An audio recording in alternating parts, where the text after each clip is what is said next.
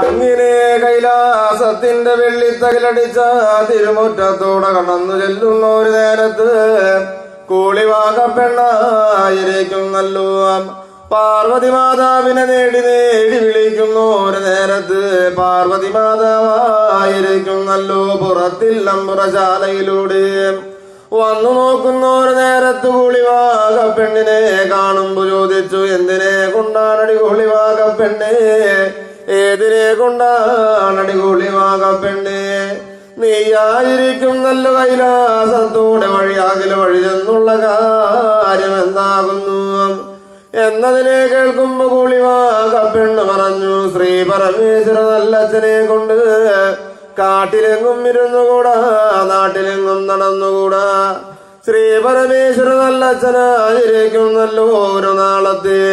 പകൽ പിറന്ന പള്ളി വെല്ലുനായാട്ടിന് വഴിയാകില വഴി പോയപ്പോ ഭൂമി ലോകത്ത് വെച്ച് എന്നെ കണ്ടു ശ്രീ പരമേശ്വര നല്ലച്ഛന് ആയ മോഹം സംഘമോഹങ്ങളൊക്കെ തോന്നി. അന്നേരത്ത് എന്നിലായിരിക്കുന്നു തീർക്കുവാനായി. വഴിയാകില വഴി പോന്നോന് നേരത്ത് അന്നേരത്ത് ശ്രീ പരമേശ്വര നല്ലച്ഛനോട് പറഞ്ഞു. ശ്രീ പരമേശ്വര നല്ലച്ഛനായിരിക്കും നല്ലൊരു നാളത്തെ പകൽ പിറന്ന പള്ളി വില്ലുനായാട്ടും കഴിഞ്ഞ്. വരുന്നൊരു കാലത്ത് എന്റെ ചണ്ട കൊത്തുന്ന ചാവാലും മടയോട് വഴിയാകില വഴി പോന്നെന്നാൽ ഇന്നു തോന്നിയ മോഹങ്ങളായ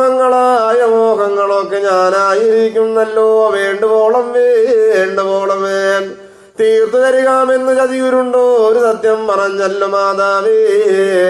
അന്നേരത്ത് കൂളിവാക പെണ്ണിന്റെ വാക്കിനെ കേൾക്കുമ്പോ അന്നേരത്ത് പാർവതി മാതാവ് പറഞ്ഞു മിണ്ടല്ലേടി കൂളിവാക പെണ്ണേ ഉരിയാടല്ലടി കൂളിവാക പെണ്ണേ പുറത്ത് നാലാൾ കേട്ടാൽ നാണക്കേട് അഭിമാനക്കേടിനുള്ള വഴിയില്ലേ? എന്നും പറഞ്ഞു.